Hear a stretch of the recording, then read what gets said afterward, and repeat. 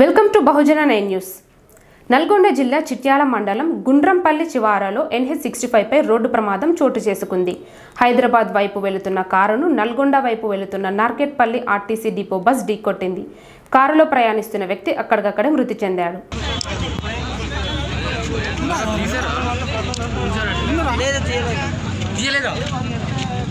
అరే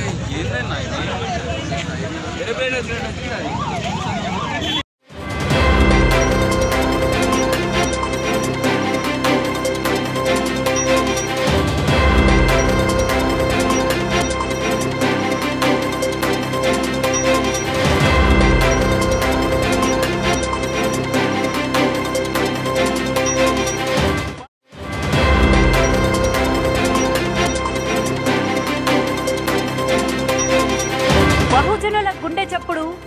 మీ బహుజన న్యూస్. బోధించు సమీకరించు పోరాడు.